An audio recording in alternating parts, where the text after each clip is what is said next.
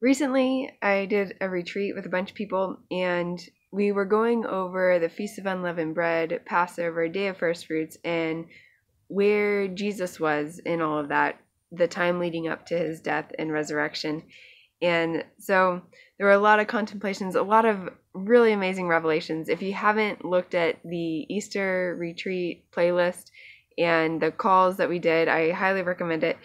So I just wanted to share some of the reflections that I got that I some I shared on the call, some I didn't, but thought that you all could benefit from it. So I'll probably be sharing them over the next uh, several weeks, maybe even months. Um, so, FYI.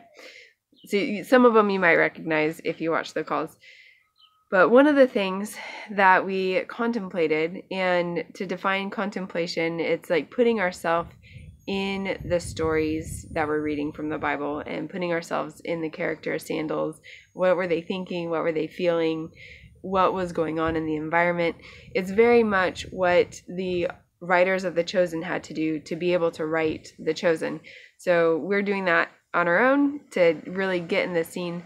And I highly recommend you do this too. Just as you're reading the Bible, try to put yourself in the character's shoes.